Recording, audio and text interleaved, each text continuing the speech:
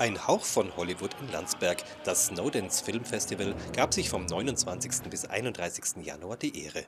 Schon zum dritten Mal fand dieses Fest für Independent-Filme in Landsberg statt.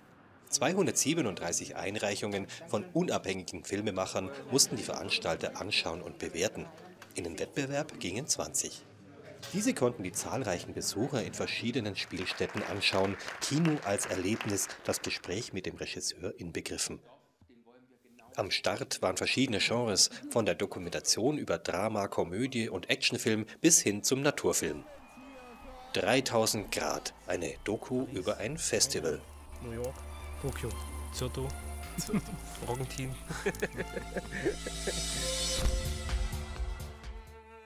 Nekro, ein türkisches Drama über einen Hilfspfleger, der sich in eine Leiche verliebt. Kız arkadaşım var.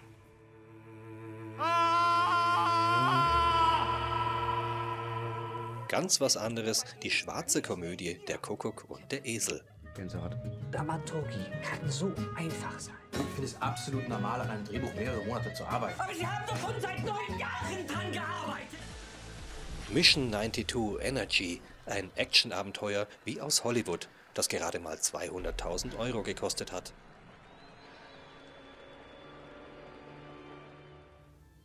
Der Naturfilm Searching for Dragons mit atemberaubenden Bildern. But wherever it is, the rush to get there is becoming less important.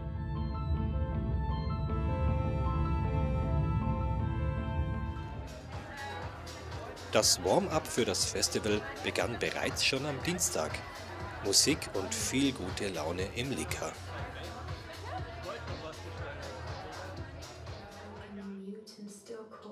Großer Andrang bei den Kurzfilmen.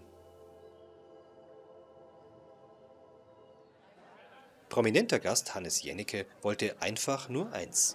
Einen schönen Abend in Landsberg in einer wunderschönen kleinen Stadt.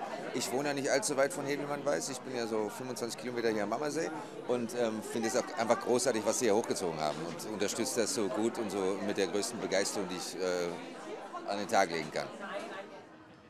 Am Freitag dann große Eröffnung im Stadttheater. Viele geladene Gäste, darunter Oberbürgermeister Matthias Neuner mit Familie und Politikerin Gesine Schwan. Heiner Lauterbach, einer der Organisatoren, selbstverständlich auch mit dabei. Das Stadttheater war proppenvoll.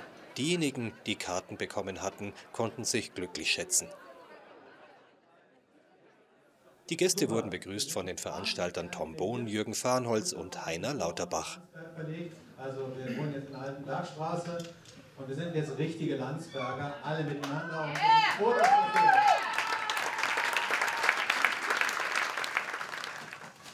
Ein Schmankerl bei der Eröffnung, die Gruppe Hexagon aus Türkenfeld.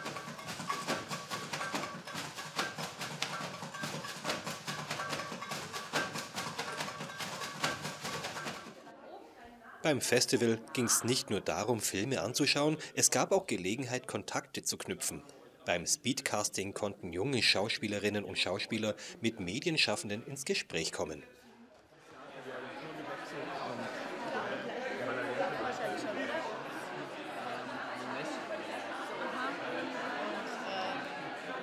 Eine Runde dauert fünf Minuten und dann heißt es im Uhrzeigersinn weiter zum nächsten. Und jetzt weiter. Hallo, guten Morgen. Bitteschön. Auch Workshops zu Themen wie Filmmusik und Schauspiel standen auf dem Programm. Ein Highlight des Festivals mit Sicherheit der Besuch von Till Schweiger. Er stand bei einer Podiumsdiskussion Rede und Antwort.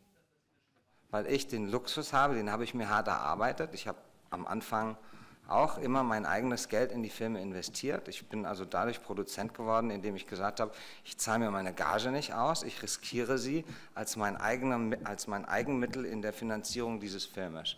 Und das ist mal gut gegangen und mal nicht gut gegangen. Aber ähm, dadurch bin ich jetzt eigentlich klassisch independent. Till Schweiger war vom Festival begeistert und will angeblich nächstes Jahr wiederkommen. Samstagabend die Deutschlandpremiere von Versailles. Der teuersten Serie, die je in Europa produziert wurde. Von der Sonne gesegnet. Aber was eigentlich zählt, hast du noch nicht. Bei der anschließenden Electro Night trafen klassische Kostüme auf moderne Beats.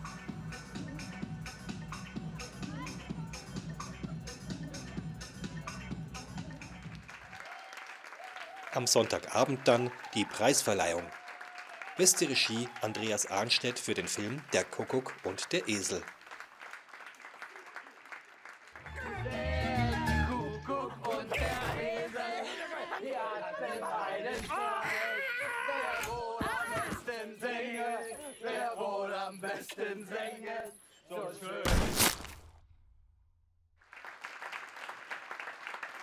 Regisseur Daniel Sugawara bekam den Preis für den besten Film.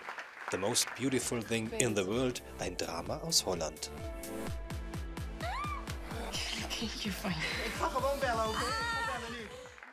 Wie sieht es denn nächstes Jahr aus? Wird das Festival wachsen? Ähm, wenn wir mehr gute Filme bekommen, brauchen wir mehr Spielstätten, das ist sicher. Aber lieber die Qualität höher setzen und auf den gleichen Spielstätten bleiben. Wenn es irgendwann mal so sein sollte, dass wir wirklich so viele Einreichungen bekommen, was sich jetzt abzeichnet, dass immer mehr wirklich sehenswerte Filme kommen, brauchen wir mehr Spielstätten. Das Festival war auch dieses Jahr ein großer Erfolg. Die Snowdance Crew sagt Danke an Landsberg. Schön, so etwas Außergewöhnliches in der Lechstadt zu haben.